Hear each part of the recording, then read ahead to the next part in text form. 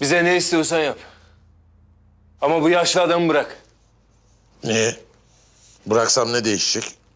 Nasıl olsa yolda elinizde kalacak, geberip gidecek. Sen öyle san. Biz bu halimizle bile sizin üstünüzden gelebiliriz. Alçak herif.